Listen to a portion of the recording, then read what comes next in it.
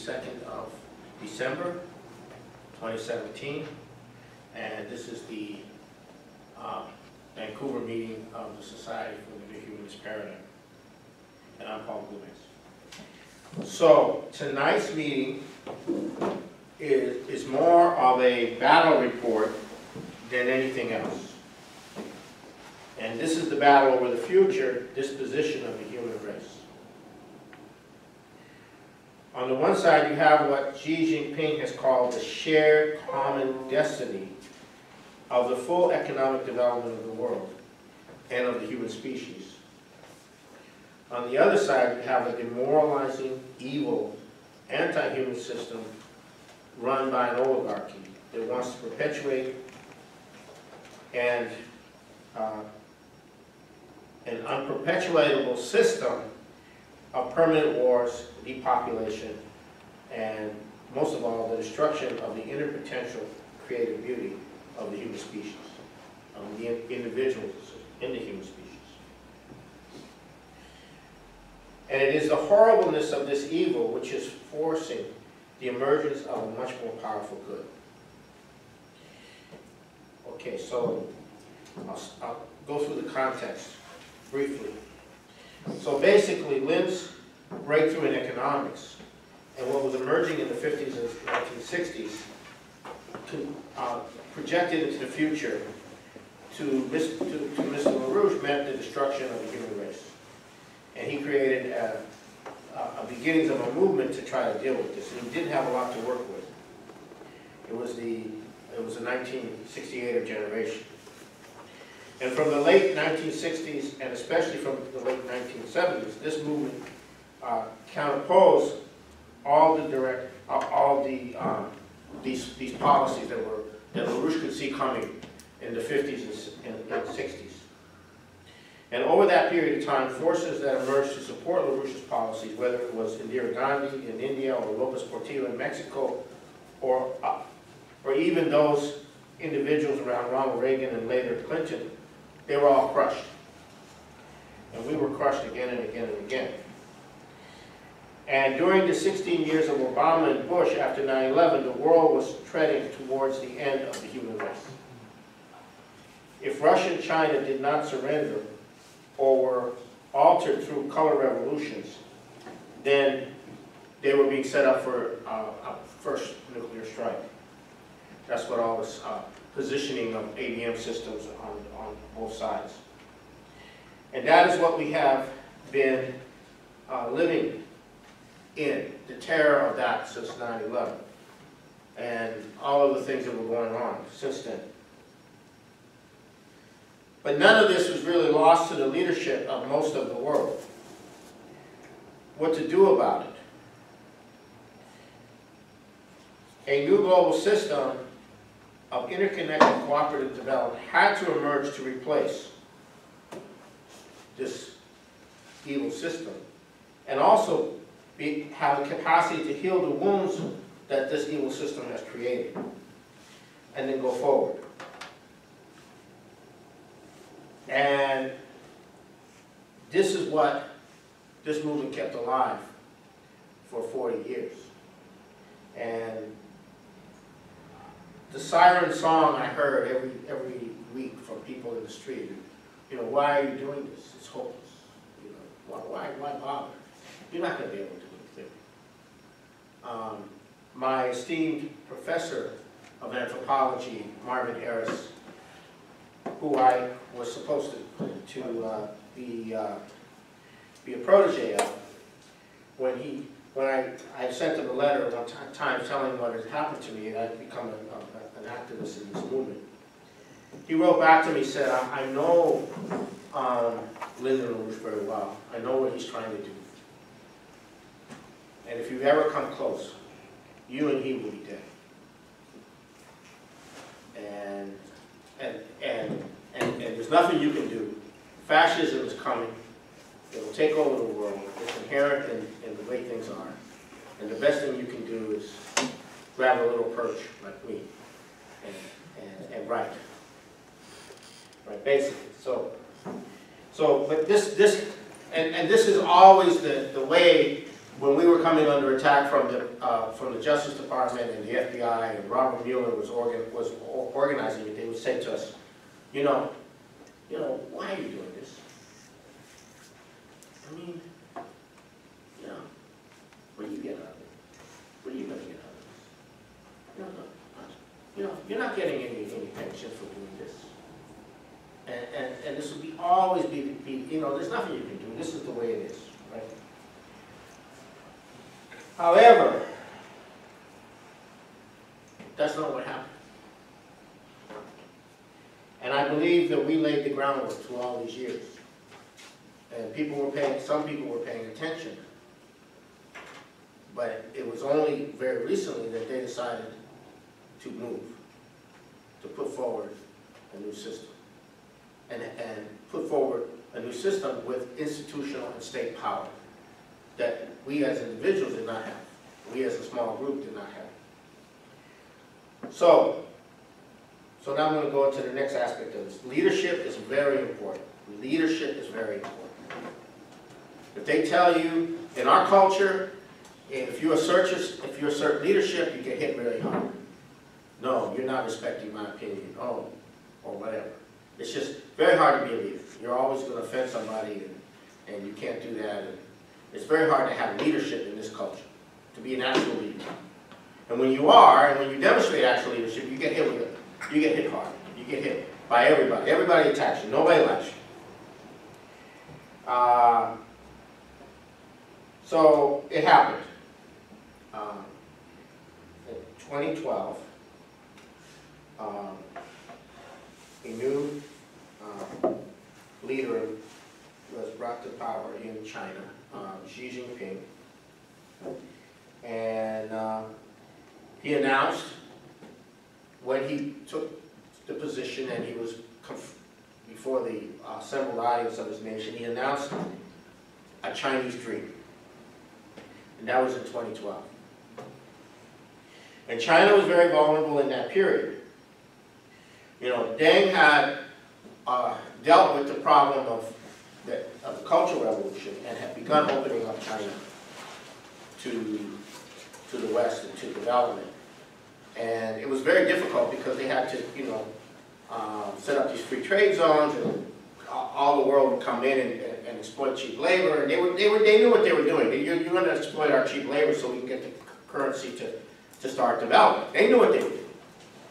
But it wasn't the best thing. But nonetheless, they did it because there was no other option. They didn't have a capability. They weren't, they didn't have development. They had to have development. So they sacrificed to get that development.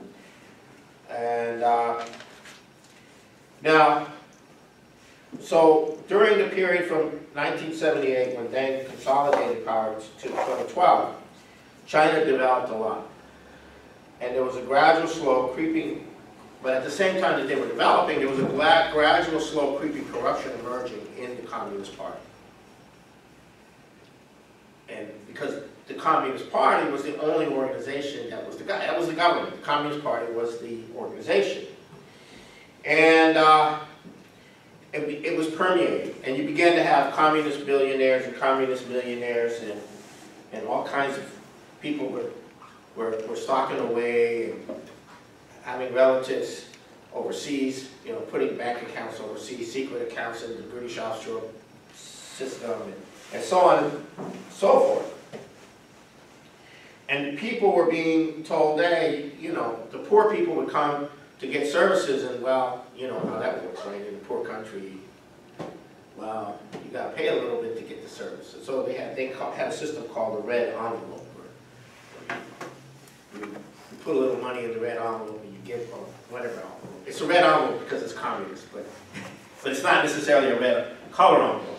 And then you give the little red envelope, or whatever envelope it is to the, to the official, and then you get whatever you need. And people resented this tremendously. The population tremendously resented this, and there was a lot of complaints.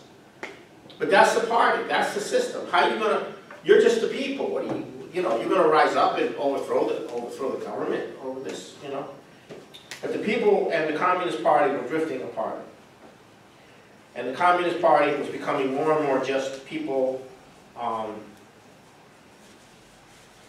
you know, sloganeering and stuff like that. You know, we all hear sloganeering. Now, what Xi Jinping did immediately after coming in is he did something incredibly difficult, incredibly spectacular, and not understood in the West. He launched the most massive, thorough, anti-corruption campaign the world has ever seen. Somewhere on the order of one and a half million party members were disciplined.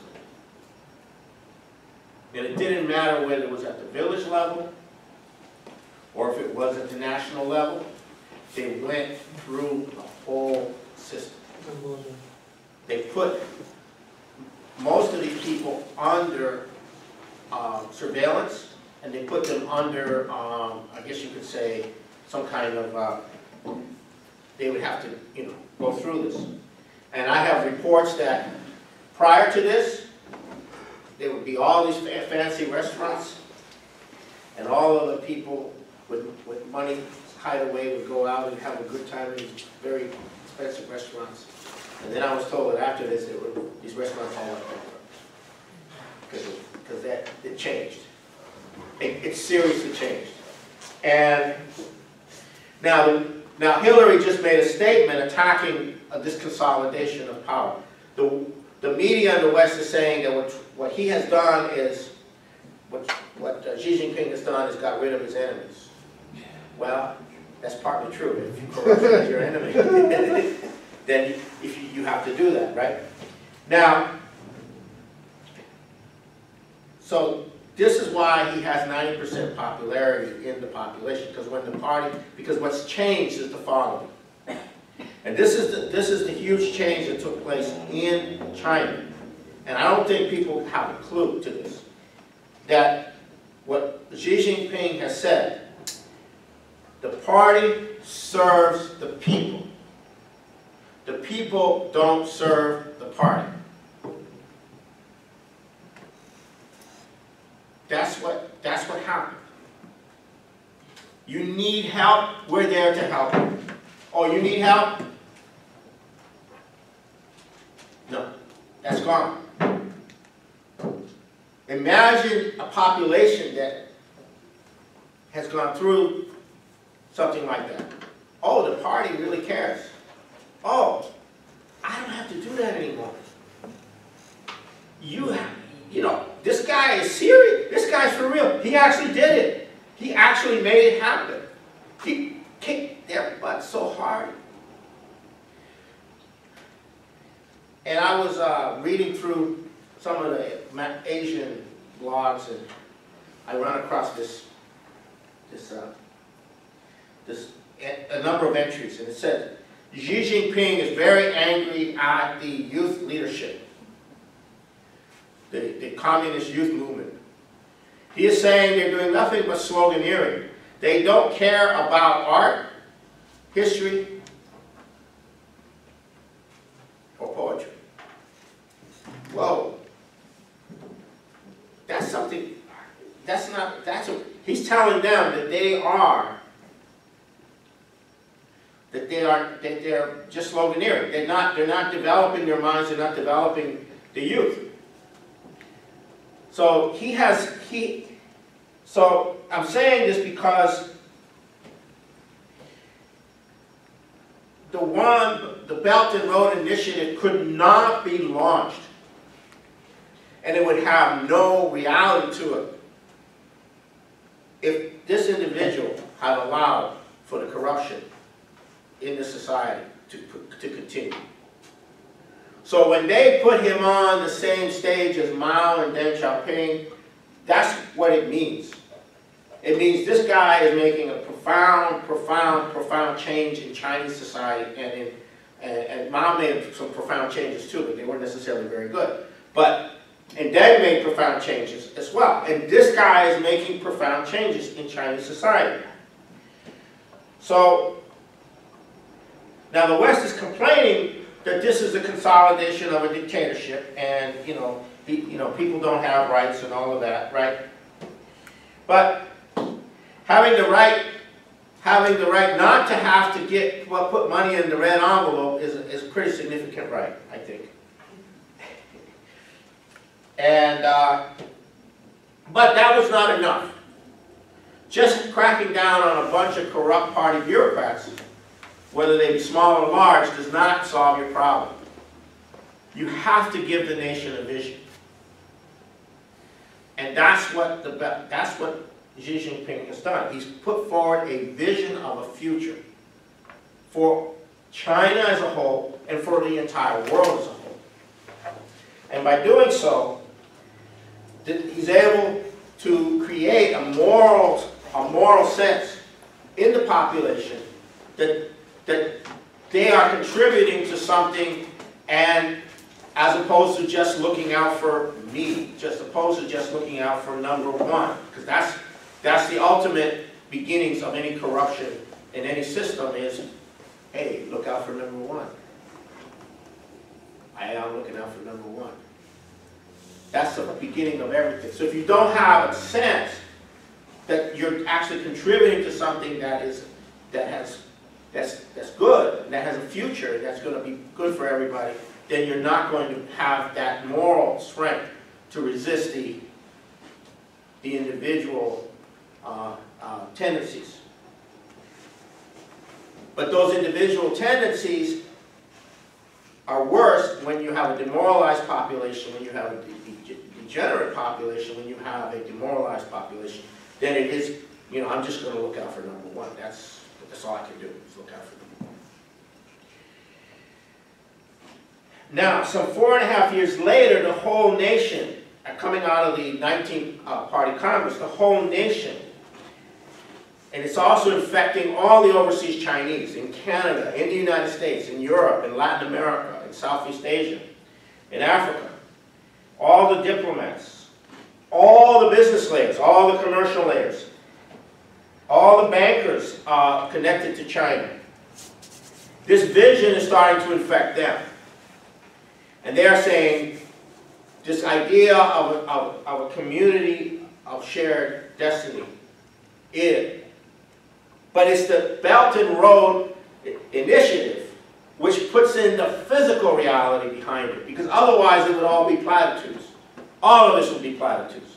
But the Belt and Road is the physical transformation of the economy that raises everybody up.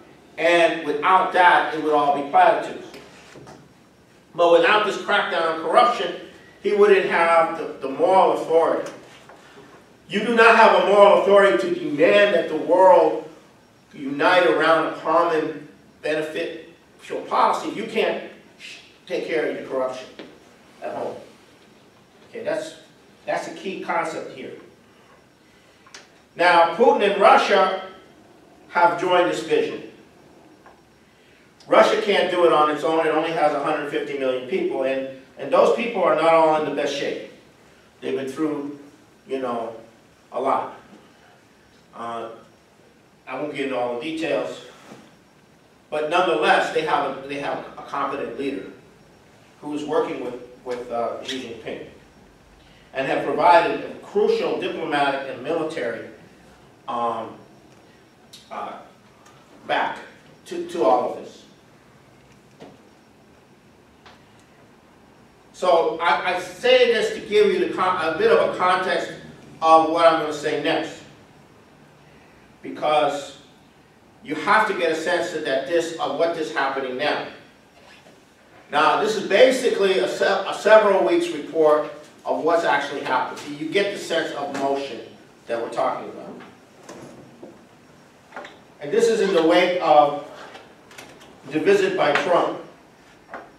Um, in the wake of the visit by Trump in the U.S., you have all these states, led by West Virginia, making all these deals with China. Today, we have the mayor of Houston going to get deals for Texas with a whole entourage.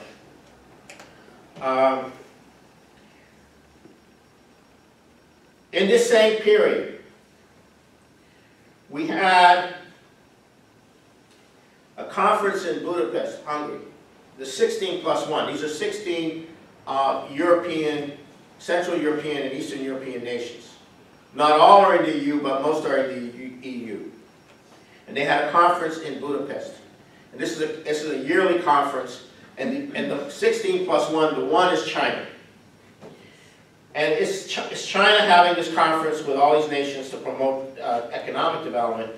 Viktor Orban, the president of Hungary, announced before the conference that the center of the world is shifting to the Pacific. That is, the center of the world is not the Atlantic anymore.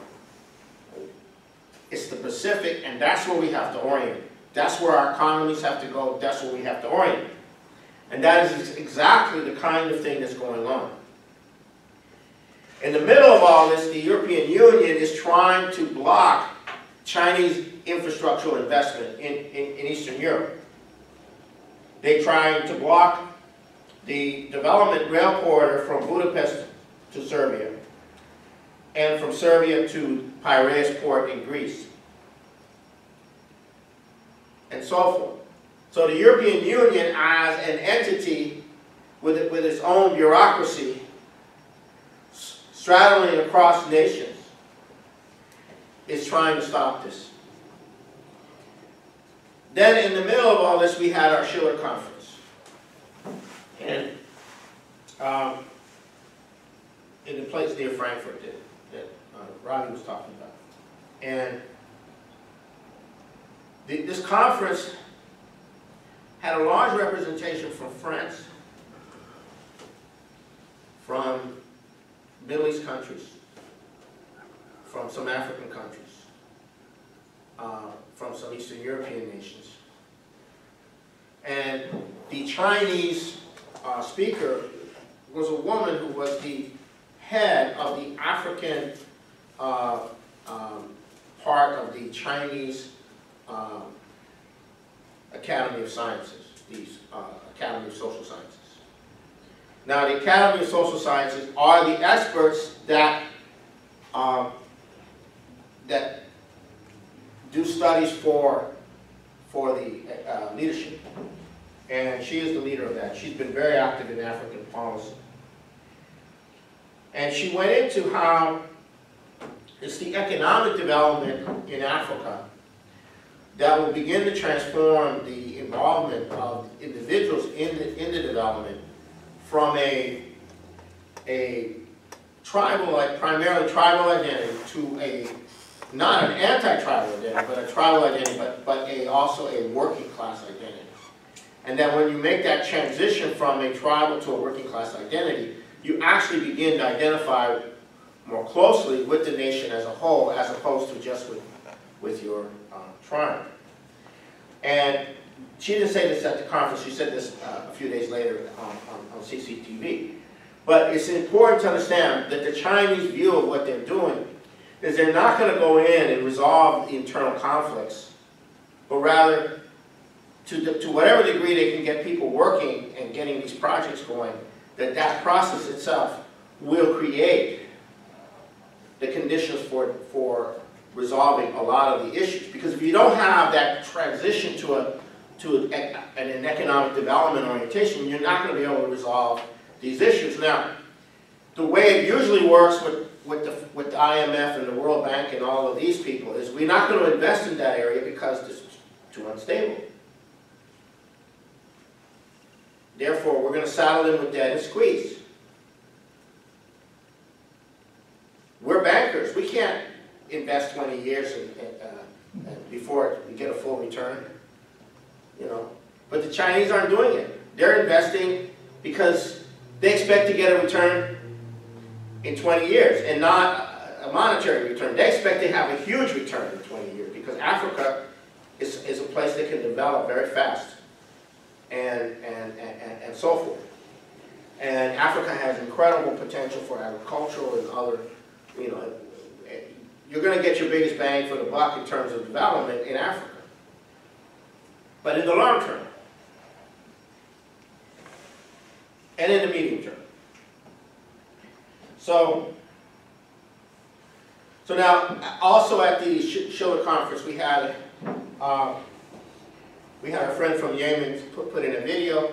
Uh, Shaban, the woman who was uh, uh, the personal um, assistant to, uh, to uh, Bashir Assad, uh, was planning to come in person and to address the conference, but she didn't, she couldn't, she had to go to China uh, instead. And, and on that note, there's a lot happening with, with Syria and China and Russia. And I'll get into that, I might get into that a little bit later on. So, uh, so this conference also went into the scientific issues, it also went into the, um, the, the development issues. Uh, you can get more of that from the, uh, from the website. Um, But at the same time, or a little bit uh, thereafter, there was also another conference in Paris a few days later with 400 attendees. And this was the establishment of the first annual forum on the Belt and Road Initiative in France, sponsored by the Chinese Embassy and the third largest think tank uh, called the French Institute for International Strategic Affairs.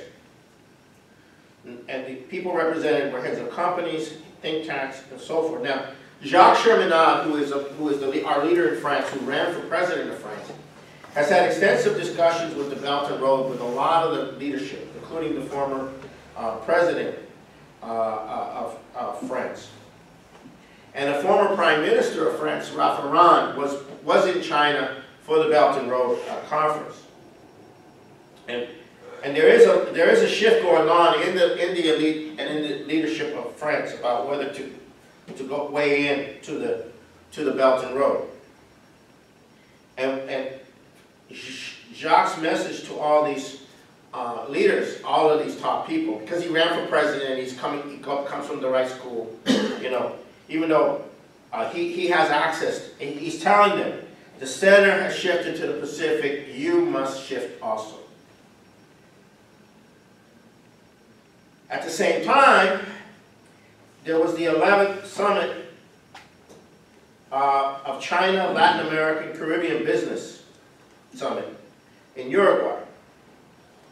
And this was a much more significant than the other 10. There were 2,500 people there. And the entire um, plenary session was devoted to incorporating all these nations into the Belt and Road Initiative. Then you have the president of Chile, uh, Bachelet, who on November 23rd spoke at the 10th anniversary of the Confucius Institute, which is a cultural institute. They also promote Chinese. And I'll quote her. The world is orienting more than ever towards China and the Pacific Basin. Therefore, we know very well that our relationship with China and the Asia Pacific in particular is crucial for us to fulfill our destiny. Chile's relationship with China goes well beyond trade ties. It is one of our primary political partners on the path to opening, integrating, and cooperating for progress. And then she mentioned that upon retirement, she intends to study the Chinese language in, in greater depth. Now we also have an unconfirmed report that we should be getting more on later on, that the, Jap that, that the Japanese are now negotiating with the Chinese to bring the major Japanese firms into the construction projects on the Belt and Road. So basically, the Japanese are being, uh, are being, uh, are, are about to join um, with China in these construction efforts. Now, you gotta understand, China and Japan do not have the warmest of feelings towards each other for given what Japan did to China during the World War II. And all of the things. And also, they, they have a hard time with the Japanese because they, they still haven't apologized for it. uh, Koreans even more. yeah, Koreans even more. So, however, this is about to take place. Now, at the same time, President Xi opened in Beijing a Communist Party of China dialogue with world political parties. This is the first time I believe this has happened. 300 political parties from nations all over the world, 120 nations, with 600 representatives came. And Xi explained to them that with the Belt and Road Initiative, he was introducing a new model of relationship between nations and peoples, a model oriented to the well-being of all nations and all peoples. And to add to this, he wished to, to promote a new model for party-to-party relationships. In other words, all political parties can have a dialogue with Chinese political party on a party-to-party basis. However, China will never import foreign models of development nor export the Chinese model. In other words, we're not interested in telling you how to do it. But we want to work with you. We'll work with you. And over the next five years, he would like to, to invite 15,000 members of foreign political parties to come to China for exchanges.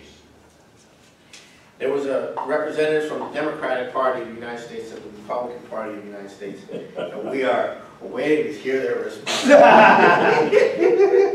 This should be good. Yeah. Okay. Don't hold your breath. Okay, now, after the conference, Oh, he's. Helga was, after the conference last week, Helga was suspiciously silent.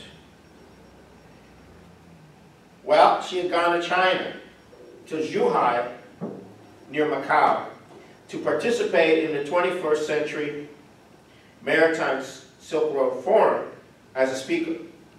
And I think she, she got back yesterday or the day before yesterday. So this is just the level of action that's going on and, and the level of, this is just the public side of it. This is for, this is all out, folks. This is all out. This is not, they're not playing around. This is, they, they know this thing has to be consolidated. People have to buy into it. The more they buy into it, the less chance we have of, of, of, of, of a, world war. The more we have a chance for peace, more we have a chance. So now, we come to the battle inside the U.S., which is getting very nasty. And, um, the, The circus goes on, huh? the circus goes on. The what? Circus. Circus. The circus. Circus. Circus. It's, it's not, it's, it's, it's much worse than that. Um, It's not just a circus, it's, it's much worse. Um, Disintegration. um, So first, I'll deal with the Flynn issue, the Michael Flynn uh, issue. And I want to read you the short report by uh, our Barbara Boyd, who is the treasurer of the LaRouche Political Action Committee, but she's also been the one that's been most following all of the, all of this kind of stuff that's been going on. And so I'm gonna read her, uh, her, her report, because I, I can't put it all together, there's so many parts, and she put it together, and I'm gonna read her report. Okay. As the media and their reporters have gone into their usual fevered frenzy, slobbering over the potential of taking down the President of the United States, it is important to situate for the membership exactly what the Flynn plea means. It represents Mueller's counterpunch to growing momentum from the House Intelligence Committee and the courts to fully reveal the British hand in this coup, centered in the phony Steele dossier and its uh, adoption by Obama and his criminal uh, conspirators as the instrument to destroy the Trump presidency. It occurs in the wake of the president's enormously successful visit to China and conversations with President Putin. It occurs as the House Intelligence Committee is contemplating contempt proceedings against the FBI and the Department of Justice for failure to disclose how the Steele dossier was used to instigate the illegal investigations into the Trump campaign by the FBI. In a hearing on Thursday before U.S. District Judge Richard Leon, the judge had also indicated that he thought most of Fusion GPS's claim rights to protect bank records regarding payments related to the Steele dossier were bogus. The bank records are sought by the House Intelligence Committee. Michael Flynn was fired by President Trump for providing a false account of his conversations with Russian Ambassador Kislyak to Vice President Pence.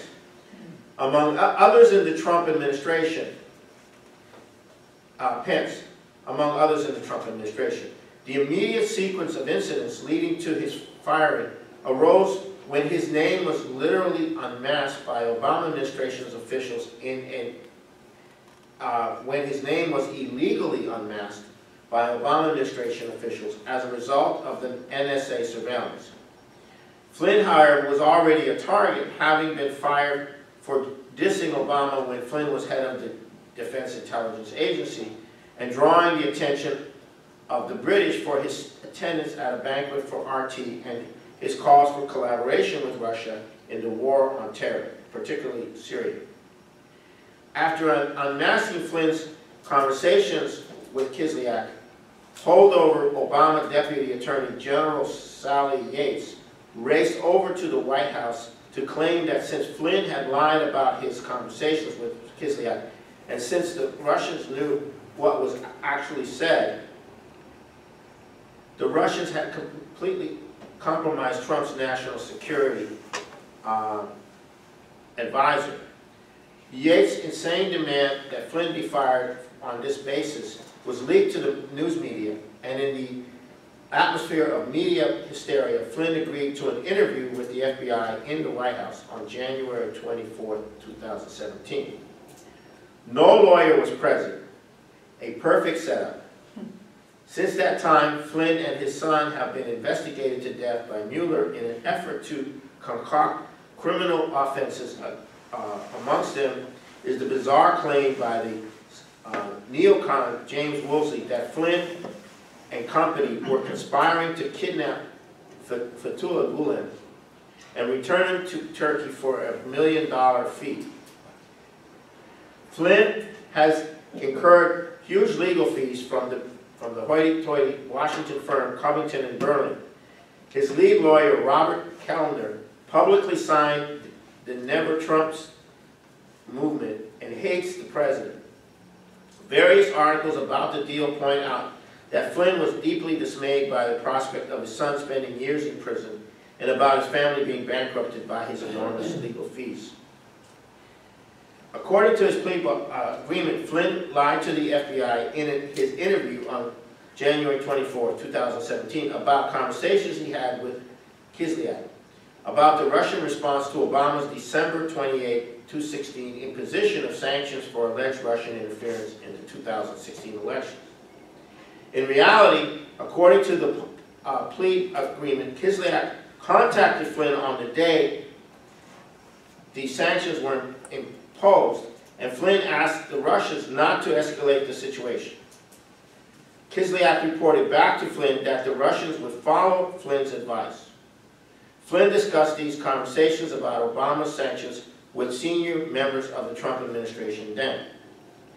An alleged false statement in, to, in the same FBI interview concerning Flynn's conversations with the Russians, among other nations, concerning a December 21st, 2016 vote in the UN about Israeli settlements.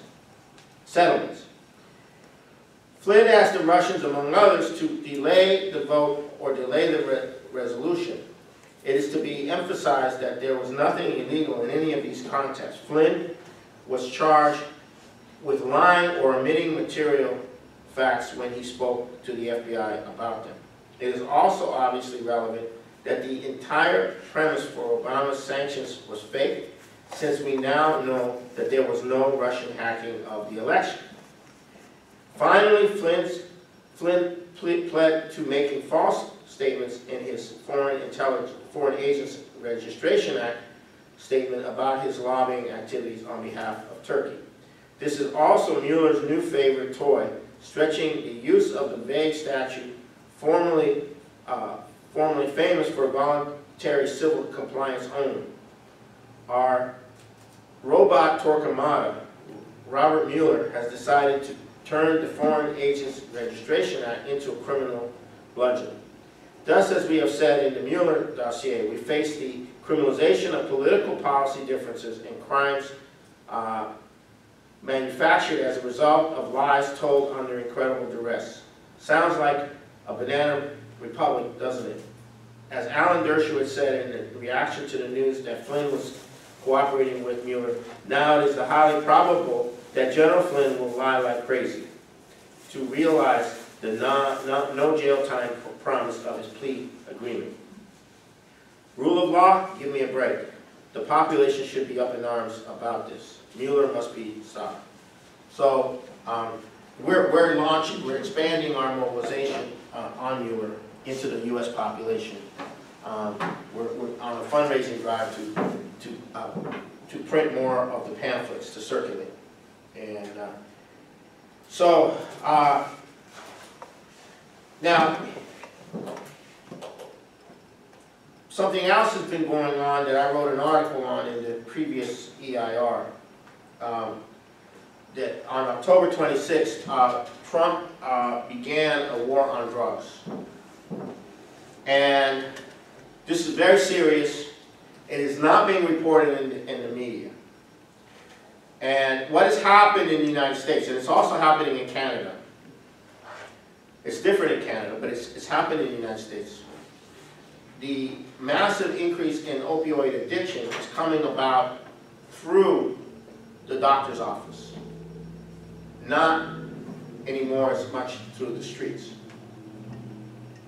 What is happening is that there's been a, a decade and a half, decade-long campaign. And part of this is connected to the Obama care bill, where to make the issue of pain a big issue for treatment. You have pain. Well, so what? You're not going to die. Well, you have pain. We got to treat you. And so, and then the, the, this grouping of this pharmaceutical family that developed OxyContin has spent a lot of money and worked with the, with the, well, they own, uh, they own one of the major pharma, uh, pharma companies, Indiana Pharma, or, one of those, one of those pharma companies. And so they, they've been pushing for doctors to, to prescribe these uh, opioids. And they've been mis, mis, misrepresenting, and they got the salesmen in all the offices, and they've been just, just, it's been hammering away at this for many, for, for, for this period. So what's happened is you've had a massive opioid addiction increase. And when people can no longer have these drugs, they go to the street for the heroin, which is a lot cheaper at this time than the prescription drugs. And so you have this massive, and then fentanyl somehow brought, is somehow being laced, a lot of the drugs are being laced with fentanyl to increase the, the, the, the strength of the addiction. So fentanyl is the drug that is used to increase um, the, uh, the strength of the addiction. And it's also being used as well, it's also being prescribed. And so a national health emergency was declared. The NIH, National Institute of Health, and the private sector are being told by Trump to mobilize to come up with non-opioid painkillers. And, um, but in the meantime, the pharmaceutical companies, through their efforts, had, had on this basis, had gotten a law passed in 2016, which deregulated the, the enforcement of, of their, uh, and, and made the, the pharmaceutical companies more the enforcers. So this allowed for massive quantities of these opioids to go out to the street without the power of the, uh, the uh, Drug Enforcement Agency being able to interdict, interdict those things. And of course, the Obama DEA has been very soft and very lax with respect to all of this. So, so that situation um, is a very serious one. He also discussed going after the gangs, uh, working with the Mexican government to shut down the drug cartels and shut down, um, uh, and work with all nations to shut down the, the, the production and the cartels. And he also talked about changing the culture. Uh, and, but you have to understand where things stand. The drug thing has reached an incredible, uh, uh, negative turning point, and something needs to be done.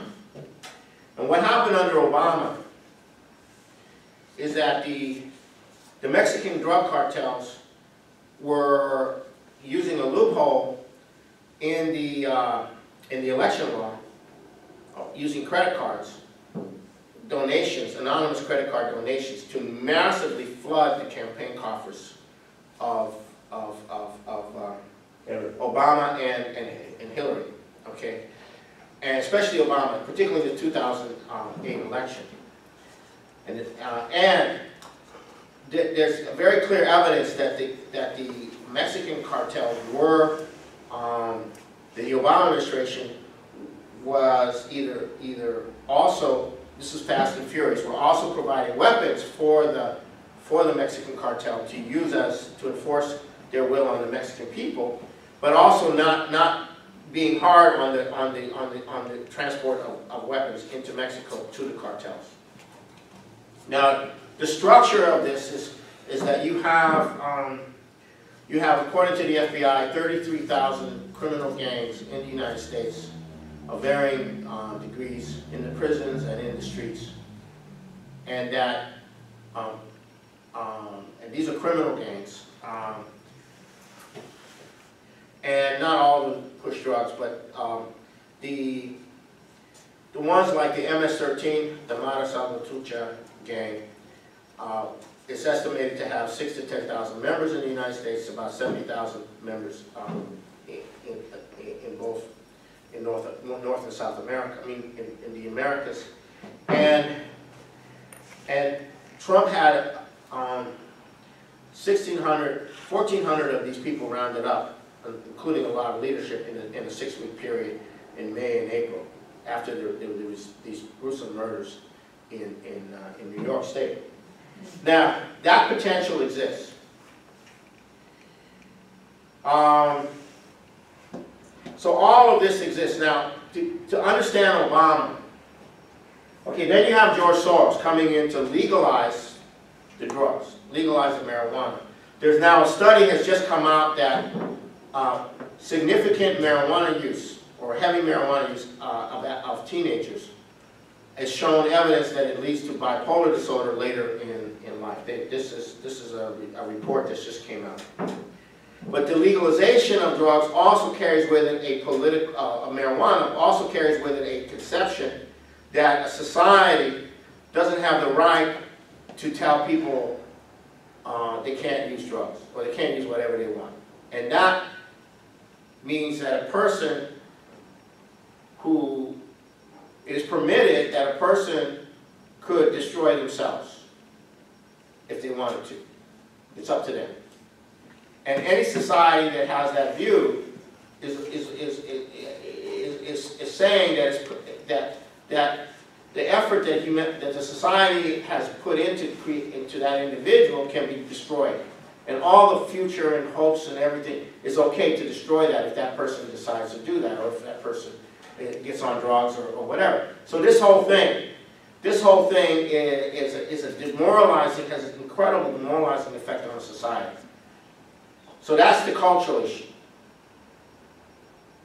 Then we have the final one, which is uh, people don't like to talk about it. And that Obama considered himself, or, and was considered to be the rapper-in-chief. Now, there's been a lot of promotion of rap music and the culture, but people don't really fully appreciate that that is the culture of the gangs. And, and, and that is the culture of rape. That is the culture of violence and um, rage and violence. That is the culture of, of subjugating women. And you never hear any, any, any, any, any, um, any feminist attack this brutal, brutal culture. which is brutal, which if you live in a poor neighborhood and you're a woman, that you're in deep trouble. There's nothing you can do. You go to the police if you want, but then you have to live in that neighborhood, and those people can, uh, you know, that kind of world is what people who are very, very poor, who live in those kind of neighborhoods, are subjected to. The terror and fear. And Obama was the rapper in chief, as if it was okay, as if this culture of violence and gangs was okay. And so this is what you're dealing with. You're dealing with, uh, and now the British always look at gangs as, a, as, a, as structures. These are, these are um, structures outside the law that control a people. And so they've always run things on, based on um, criminal gangs, whether it's the mafia or, or the Tongs or the Tangs in China or, or whatever, you know. This is how, this is how you undermine a country. This is how you, how you have uh, informal, informal forms of, of control. And that has to be shut down. So there is an indication that if Trump administration continues, they will move in this direction in a very big way. And the person who is now, who was formerly Homeland Security head and is currently uh, Chief of Staff, uh, General John Kelly, he is one of those people that uh, is very intimate with the situation and has indicated in a number of different interviews his understanding of the situation and that, and that they, they- they will begin to move. And this can be done. Now, if the United States establishes normal relations with Russia and has normal relations with China, then you can begin to evolve in the context of a Belt and Road situation, a, a, a cross-national effort on a massive scale to shut this all down, whether it's the, whether it's the, um, getting, you know, getting, shutting it all down in Afghanistan and giving these, uh, farmers an alternative, um, crop, or whether it's, it's, whatever. You have the political power to do this. And that is one of the unspoken potentials that exist in, in, in, in, this administration. And we do know that there is a visceral hatred of the drug trade and the drug culture um, that we notice in this president. Uh, A visceral hatred of, of drugs and, and, and, and, and so forth. So, so, so that's an, that's another area that's not being covered. The fact that this is going on is not being covered. So, um, now, I want to, uh, finish with one last thing. Um, in this context, you had a meeting in Sochi of Putin, uh, of the Astana process, I think it was in Sochi, of Putin, Erdogan. Erdogan, and, and I think uh, the president of Iran. Iran. Right. Now, Erdogan claims he's a Sunni, right? The president, is it Rouhani? The president of, Right. yeah, he, he claims he's a Shia. And Vladimir Putin claims he's Orthodox Christian. All right, you get the idea. You have an Orthodox Christian, a Sunni, and a Shia discussing uh, guaranteeing a, a, a stable peace process in Syria. How long will that hold? I hope it continues. And we might find out a little bit about that on Monday. Okay, so, uh, so this is the battle report. And there are many battles to come, we hope. And it's not over. This is just the beginning. Because this, this great, profound evil has to be crushed. And it, it's not gonna be crushed, um, except through, uh, a superior idea. So I will leave it at that. Okay, I know, I know what's coming.